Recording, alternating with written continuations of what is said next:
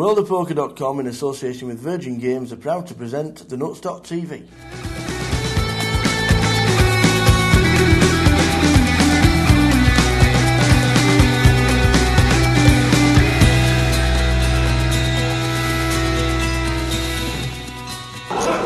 We come to a this table and the plan of the floor continues.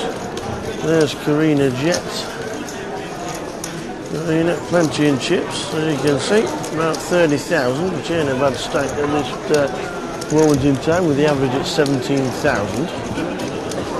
There's Karina. Her husband, Chip, is sat at the side of Alistair, as you've seen a little bit earlier.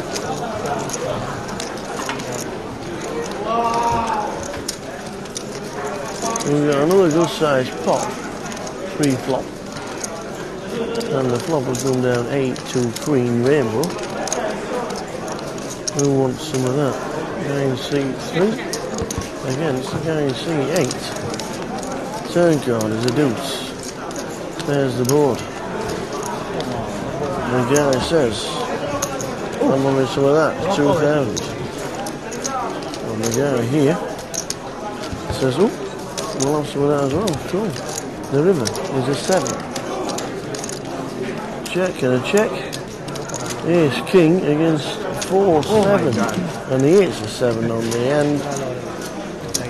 He's played four seven to the raise, and he takes down the pot as it comes on the river. Four seven monster. And there we go. Let's come to the table. didn't have to raise though. Just missed the action and the guys just doubled up. Seat two. Hook seed. Four. World Series bracelets. Not bad effort, is it?